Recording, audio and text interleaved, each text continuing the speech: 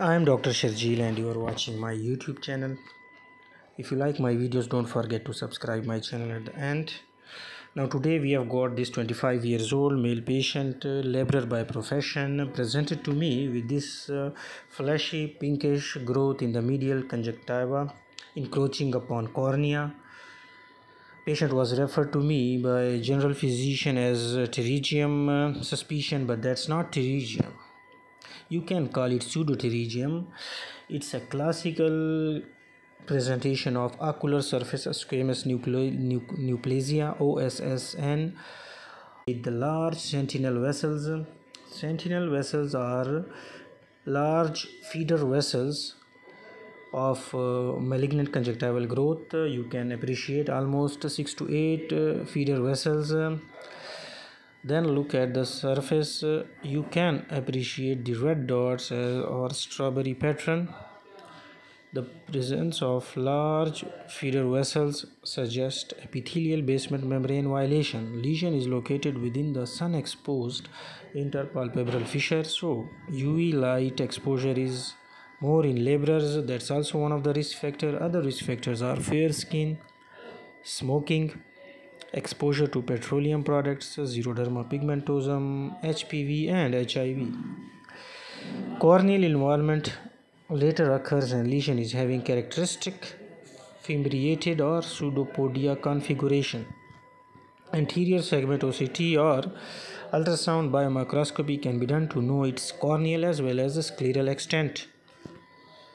Now let's uh, come to the treatment uh, medical treatment options are interferon alpha 2b mitomycin c drops and 5-fluorouracil if lesion responds to medical treatment uh, it has advantage of avoidance of the surgery its complications positive margins scarring or thinning of the conjunctiva and sclera. Interferon dose is 1 million international units per ml.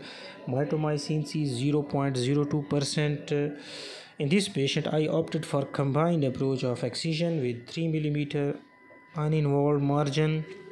Large margin is important to completely remove the lesion. And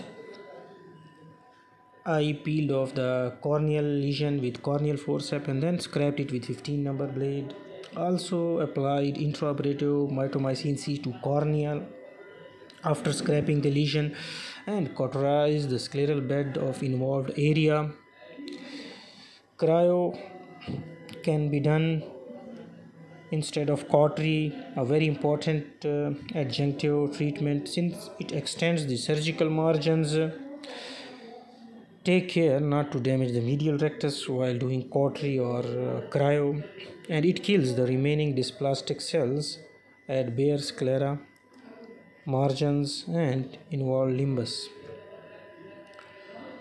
Tissue is sent for histopathology in case if margins return positive topical therapy can be used to kill the residual dysplastic cells recurrence is common it is 50% in the positive margins and 30% even if the surgical margins turn out negative within 10 years. So close follow-up is necessary, avoidance of the UV light, use of sunshades